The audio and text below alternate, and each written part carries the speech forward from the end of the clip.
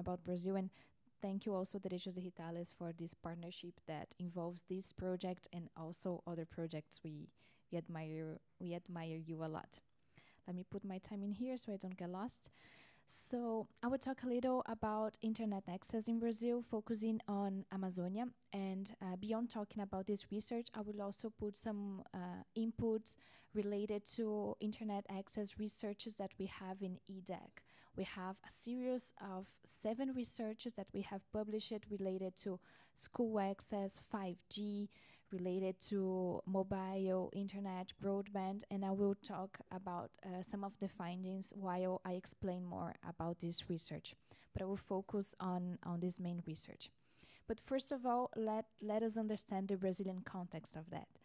Uh, in Brazil, we have advanced a lot on internet access, but we still lack meaningful connectivity. Brazil is full of contradictions and ambiguities related to inequalities in general, and internet access is not different from that. We have inequalities related to economic inequalities, regional inequalities in different regions of Brazil. We are focusing on the North region today. Uh, also in localities in terms of urban and rural areas, and also depending on companies' interests on these areas.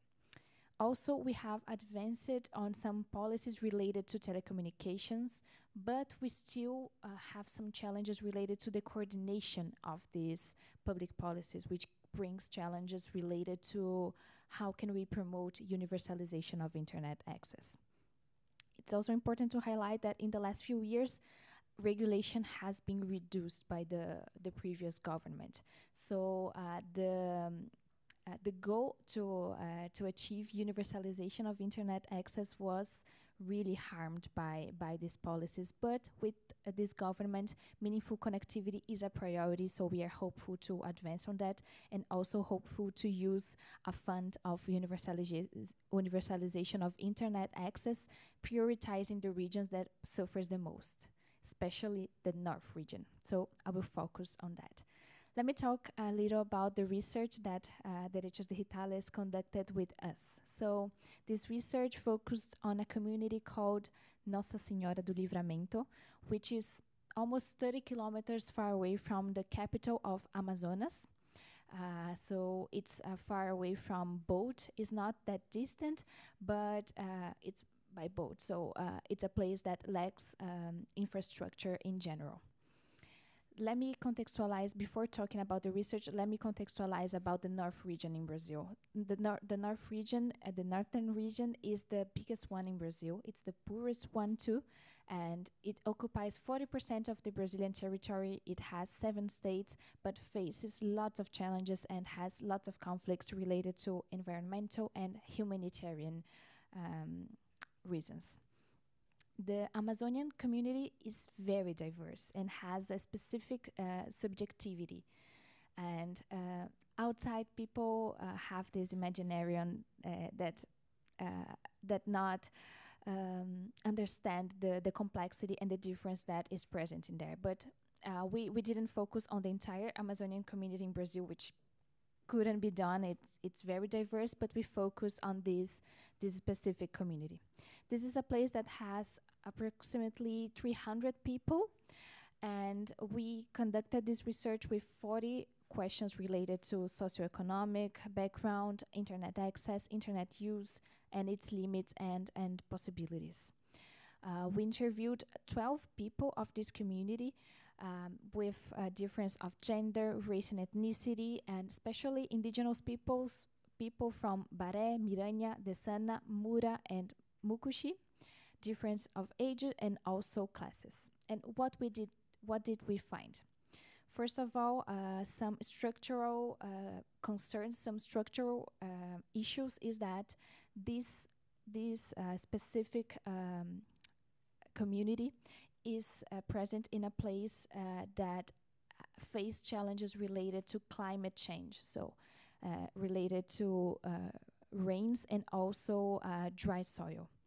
Because of that reason, infrastructure is hard to advance. So because also of these natural problems, it's hard to have infrastructure in there. Beyond that, uh, they face challenges related to electricity. So beyond not accessing internet, they also some people don't also have electricity in general. But what did we find? We find, as we expected, that the scenario is excluded. We have inequalities on internet access, high prices, low quality, and uh, the um, normally they use uh, internet access in the mobile phone. So it's important to pause and also talk about the difference in Brazil of the mobile phone in relation to broadband. Broadband in Brazil is based on uh, speed, and uh, mobile mobile internet is based on data franchise. What happens if you have a low cost of data franchise? You cannot buy sufficient data franchise for the entire month.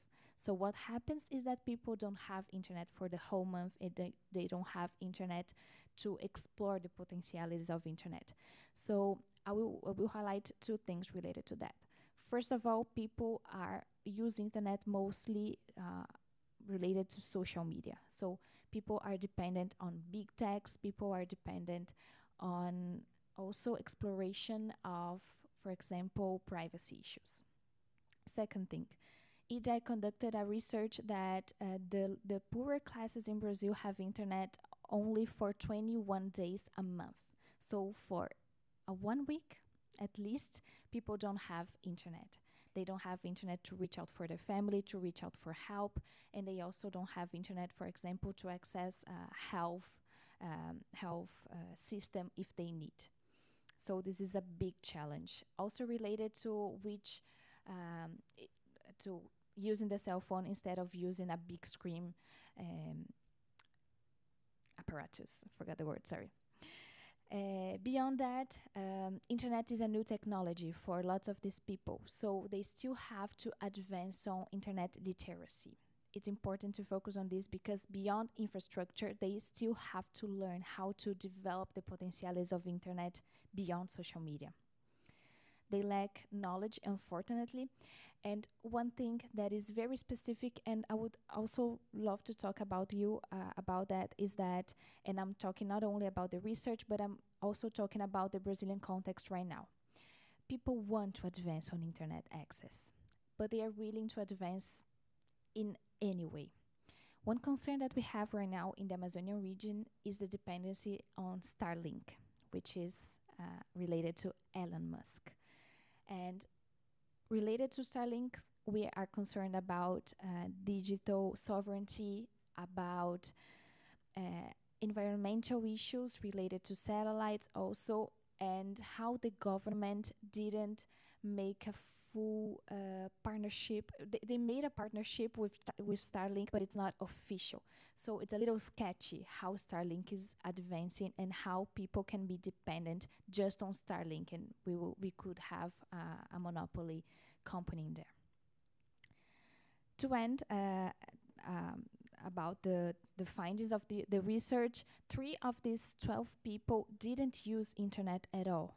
And sev seven of them just used mobile internet. So that's why I highlighted these issues. And five of them could afford uh, broadband internet, but since they don't have sufficient infrastructure, uh, they still face some challenges on internet quality.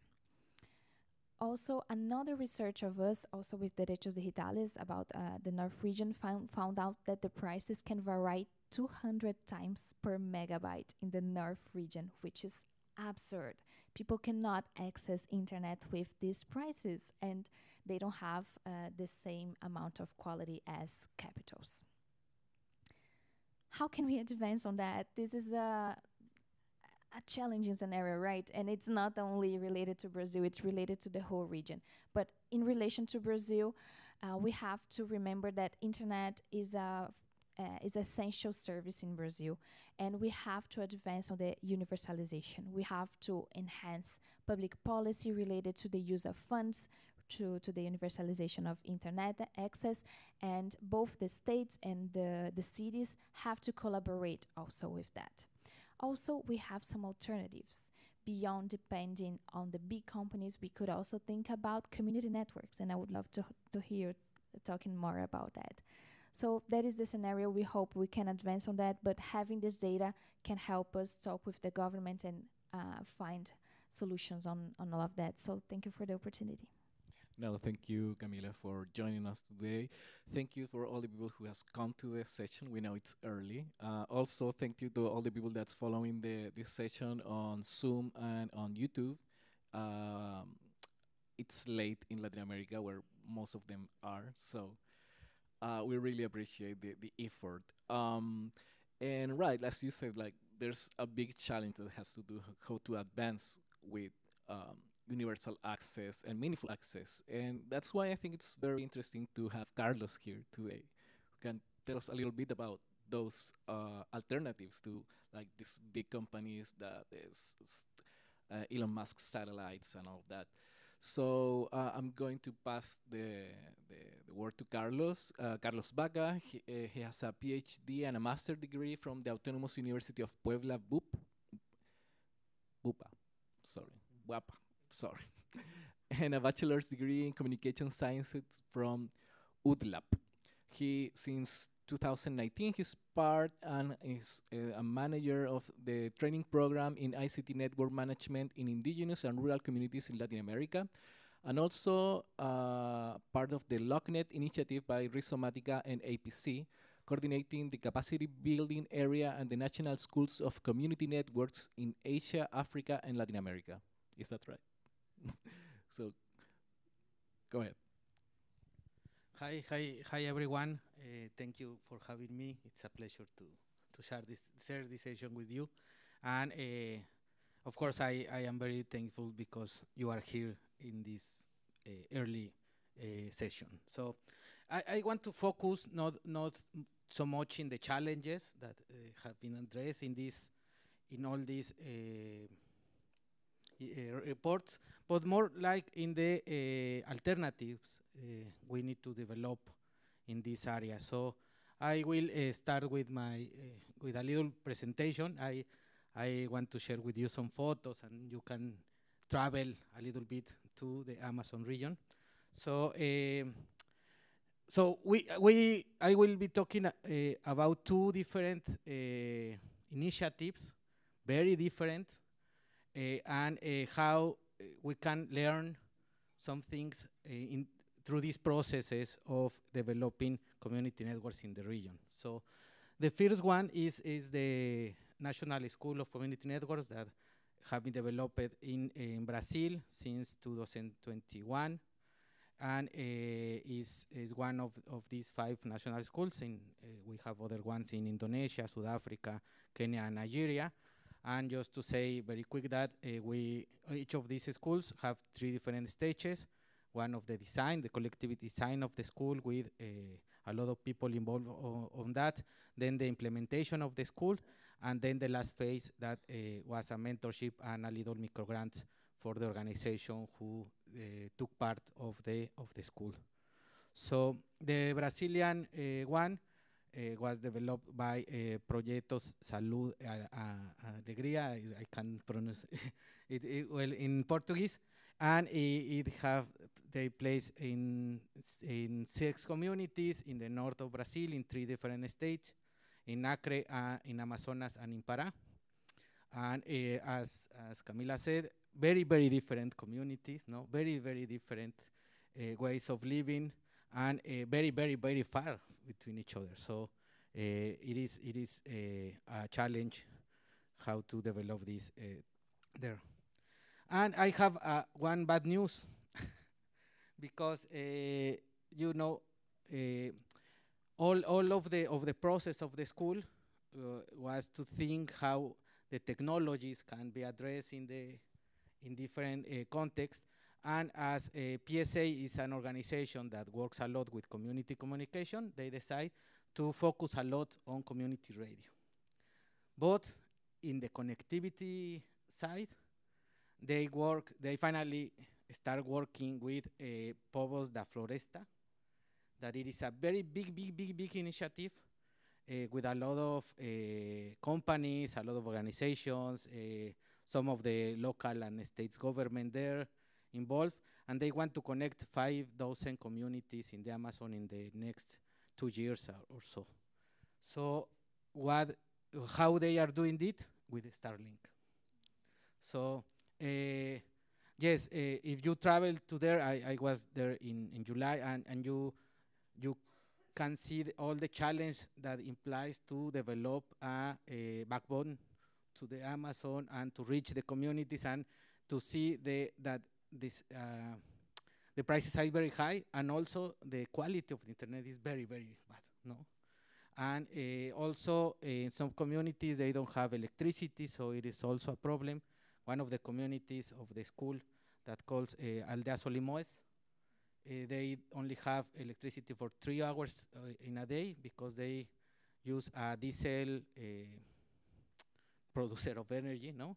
So they don't have electricity all day, so they, they can't use also internet or everything in all in all day, no? So they they they did that.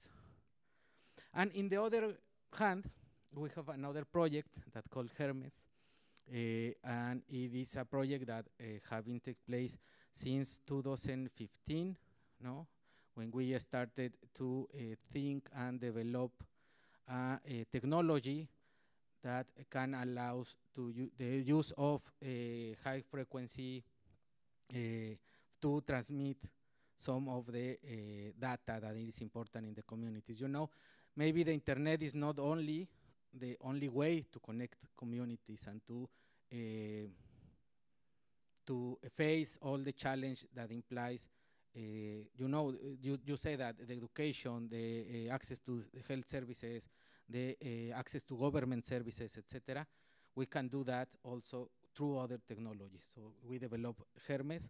That is is a technology that allows send some type of data through this through this type of networks so we have now different services. Uh, we can send an email, we can uh, send a public message between the community station, no, like a closed network, but also we can connect to the internet one of the radio base, and so we can send a message to internet through uh, one, only one radio base connected.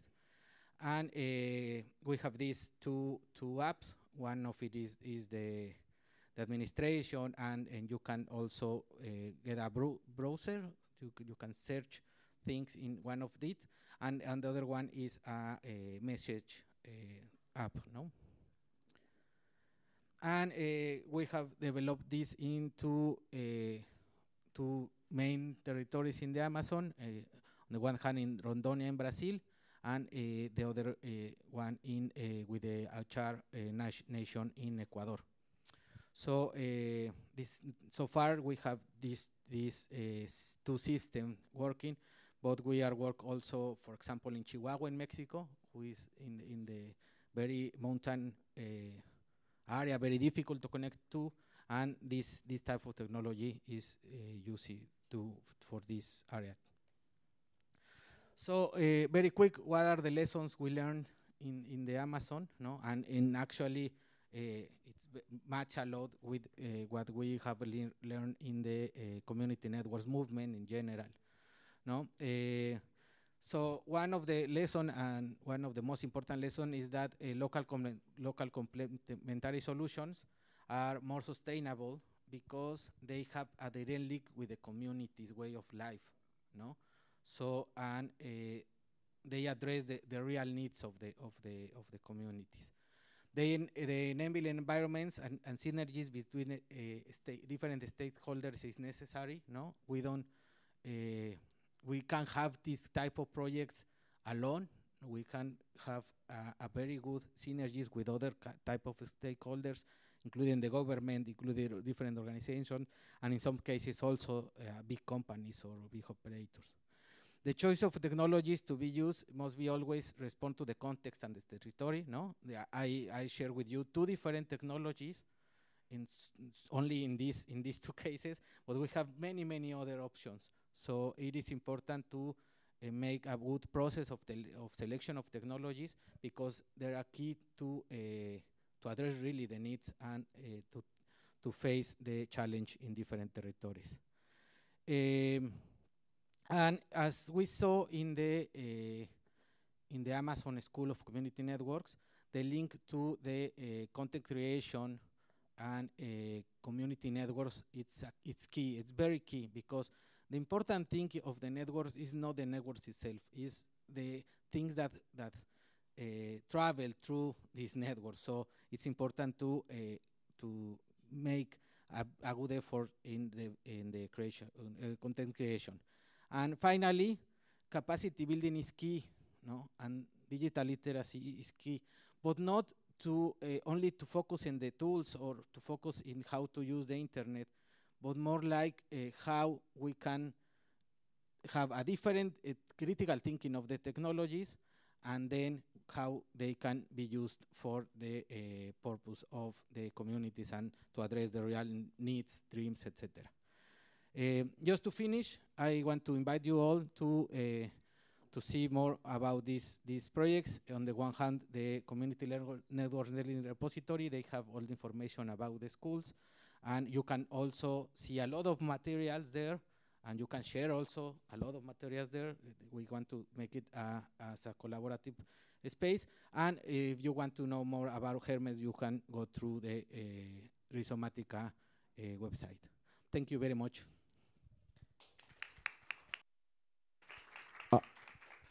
Thank you, Carlos. Uh, that was really, really interesting. So this is the part where we can talk. And we don't have much time, but we have some time to, to, to have a little conversation. And I want to invite every, everyone who, um, if you have a question or a comment that you want to make, please do.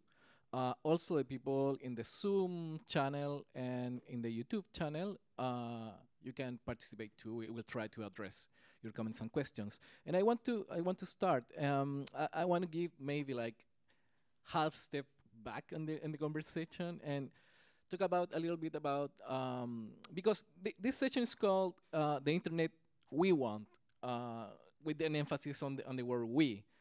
Um, so I think that the, the key concept here has to do with autonomy, and and, and this is something that you in, in both of your interventions. Uh, but I, I, want you to ask a little bit about uh, the the concept and the importance of autonomy regarding uh, internet connection, especially when we're talking about these specific communities uh, indigenous communities that has a right to decide. But like, how does uh, autonomy look like when we're talking?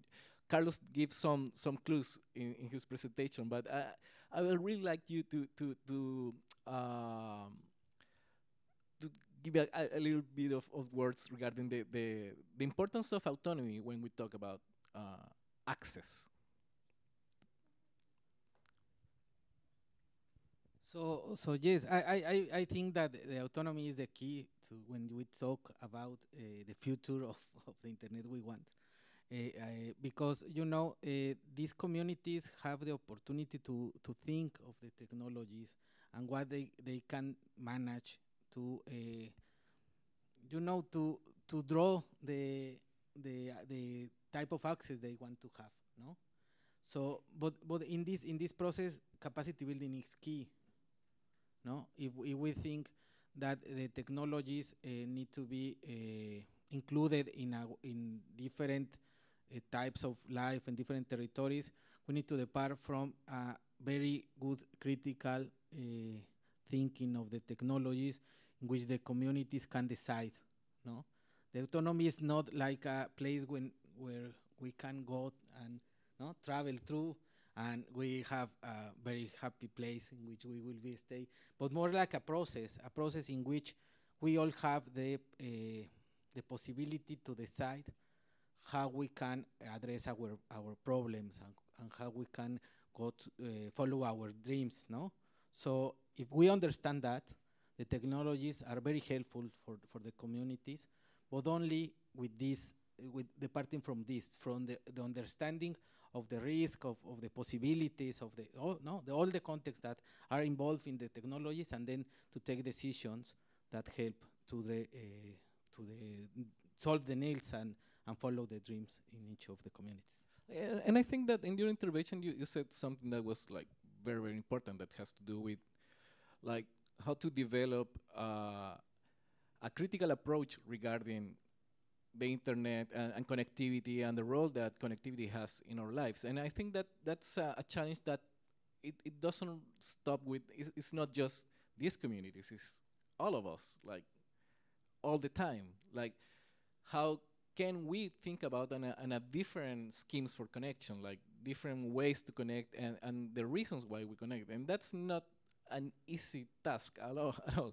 Uh, I, am kind of curious regarding your experience in the in the schools, especially like what how is the the the when when people think about connectivity what what what what are they thinking like what what it that look like what are their what they want to achieve with connectivity well uh, the the experience of, of the development of the schools was uh, is very very uh, inspiring and interesting because we can see all the different uh, perspective of the connectivity of, of what we can understand about meaningful access, for example. No, so each of the five schools are very different, completely different. No, for example, we we have here uh, in in Brazil one school that uh, having worked a lot in the uh, content production and community communication, but we have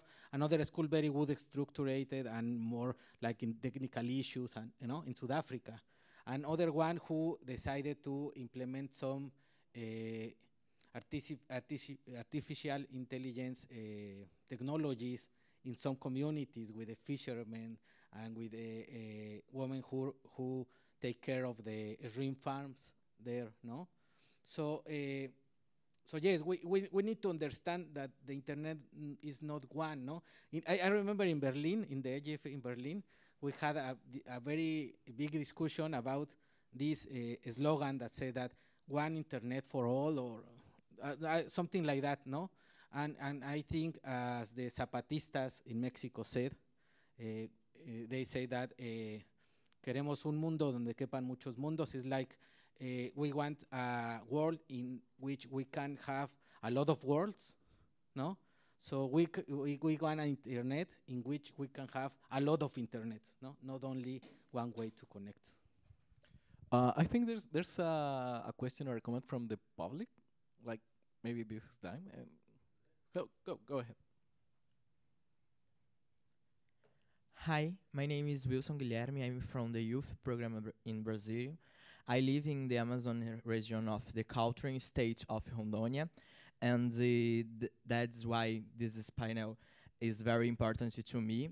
Even though it's the, it is the zero of the event, I believe in the potential of the discussions to be held and the IGF.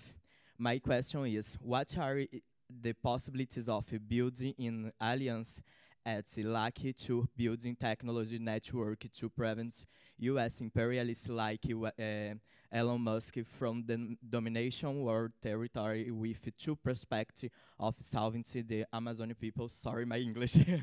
Thank you.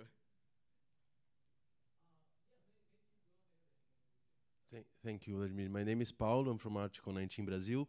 Uh, I'm sorry I, I couldn't listen to Camila's presentation, so I'm sorry. I'm going to refer to, to Carlos' one. I'm really glad that you mentioned uh, the Hermes project. And my question goes to everyone, actually, including for discussion. Um, it, we all know that you know, working with community networks and access, uh, connectivity, and so on is quite hard to do in terms of hardware, software, knowledge, and so on. Um, but then people normally connects the the idea of connectivity and access to the internet, to access the internet. And the Hermes, for example, is another project, is, is another idea, is like connecting more the digital sphere than the internet itself. So my question would be, uh, what is the importance of having not necessarily the internet, but the digital technology in the hands of community, um, given two different, um, you know, axes, um, two different things. One culturally, and the other one is material production, because digital technologies can help out, not necessarily with access to internet, but to help out the material production, what the communities are produ producing, and so on, and also the production of culture, like music, oral history, poetry, and so on. This not necessarily has to do with internet connection, but it has a lot to do with, um, you know, digital technology flowing in and out from the communities with the sovereignty and autonomy and so on. So thanks a lot.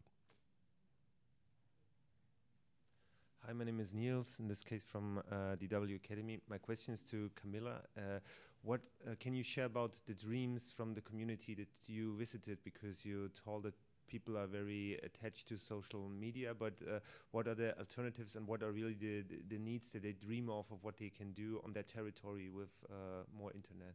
Thanks. Let's take the, the last one. Okay, thank you. My name is Camila I'm from Bolivia.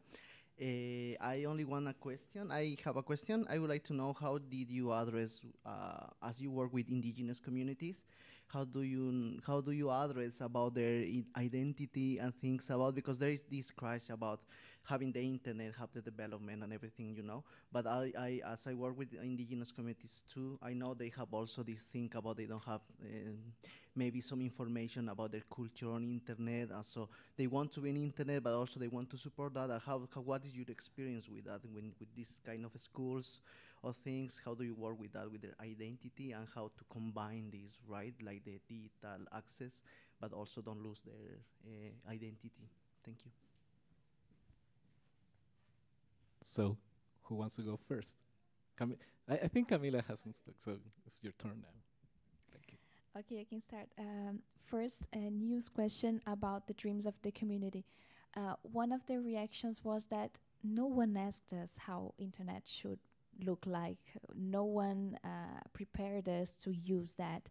So their willingness is also to have more connectivity, but also more understanding on how can they use the internet. This is very interesting. But we have a challenge of autonomy and how do they choose because uh, it's easy to have one big company that brings all the solution as Starlink, but people don't have knowledge enough to think about alternatives such as networks, uh, communities. So it's important to develop also this digital literacy so ca- they can have um, the informated autonomy to choose what kind of internet they want. I think this is important. But related to to their culture and their context, this community in in specific in Brazil, it is really close uh, to the capital of Amazonas. So it's it's a community that um, is. Uh, has their they have their own culture but they are very uh, interconnected with the big centers. So when they are using internet they use more to expand uh, to lower the distance and to expand to other spaces and their culture is more developed on that. But uh, yes they face some challenges on how to keep their culture. And about uh, will's question uh, it's a big challenge right? Because it's so seductive to have a company that says you will have internet in lo- in a low term. But i cannot guarantee that uh, that you're not going to be attached to me like really dependent to me. I cannot um, cannot say about the prices in the future. I cannot talk about the environmental issues. So we have we have to think some alternatives and we were talking about a little about the right to decide autonomy and we have to have more spaces to hear people in the end when they're making public policies they don't hear civil society that much and they don't hear that much the communities that are affected I can talk about civil society in general. We face lots of challenges on participating, for example, on the community of the universalization fund in Brazil. Uh, we have to ask them an author- a specific authorization to participate on that. The telecommunications authority, they have public consultations, but they have in a lower term. We have some challenges that the telecommunications agency is very close to the private sector, but we have some participation spaces such as uh, the, con- the, um, the consultant committee, we have the uh, consumer uh, committee also, and uh, in part of IDEC, we try to participate actively in these spaces to bring some other perspectives. But beyond civil society talking about homogeneous problems, we have to hear people in the end also. Thank you. Thank you. Yes, uh, I think we can have these all these uh, questions uh, with a sake or a beer because it's very difficult to to try to give an absolute answer, no? But uh, what one thing that it, I think is important is to the part that w- as we have the, the the right to be connected, we also have the right to be disconnected, and this is this is very important. If you want to to see some discussion about it, we have a blog in, in this uh, in the Rhizomatica site uh, because we, we also think that we need to have this right uh, very uh, uh, well understanding, no? That we can have the, this right to be disconnected, uh, and so on the this is on the one hand. On the other hand, these technologies help a lot to maintain the, the identity and to uh, rethink also the, the identity in the communities. No, we have uh, seen in, in a lot of communities that we have this problem between the young and the and the old people because they are uh, discussing a lot how is the best way to address these technologies and how no how we need to to to include in, in, in the in the in the life in their lives. So uh, it, is, it, is, it is important to start to generate that dialogues be before to uh, to include the technologies. I think this is this is one of the keys, and also uh, between the the indigenous itself, they have a lot of knowledge of what are doing the other communities. No, so they they look other experience a lot in their territories and outside of the territories, and they can uh, start thinking how to uh, to use these tools to reinforce their identity. No, of course we can't uh, think that it is white or, black process. No, uh, they they understand that that they want to to be connected, but they understand also that they uh, want to be connected with some limits that, for example, in a community network we can have. No, we can limit the the the time of the of the network are operating, for example. No, so they some communities decide that that uh, after 8, 8 p.m. they don't have internet connection, for example. Or if you are in, in YouTube more than two, hour, two hours, you, you can't uh, connect more, no? So uh, yes, I, I think I think the key is that understand that there is no only one solution. That uh, a lot of these solutions have a lot of risk. No, of course, to be connected with some uh, guy who, who who who can decide to turn off the satellites and uh, no and say that you can't have internet because I have a bad day. it, it is a problem, no? The body it is also a, a solution that needs to be understood by the communities. So the, if the communities understand this risk and can how can manage it, this is is is the uh, the key, I think. Well, um, thank you so much, both of you. Thanks so much for all the questions. We're running out of time. Uh, I, I just want to say that uh, I, I think in, in the end, what, what's important is to think about why do we need the internet? What do we need connectivity? Uh, what do we want to achieve with that? And and as Carlos said, that th- there's no a single answer to that question. Uh, there are many answers, and and the the shape that connectivity takes has to do with how we answer that specific question.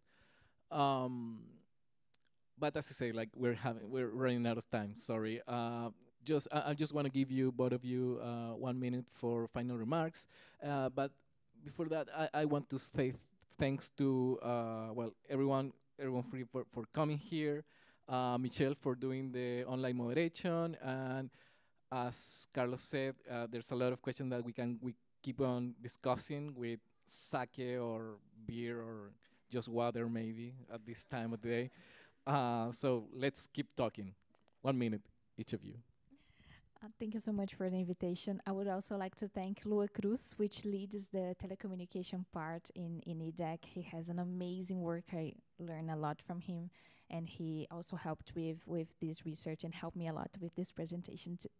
Uh, hope we can continue this dialogue. Like we have a consensus that we no size fits all, so we have to think how can we advance on that? What are the specificities that we need to develop? And hope we can continue this conversation. So thank you for the invitation. Thank you for the exchange, and thank you for you for being here too. Okay.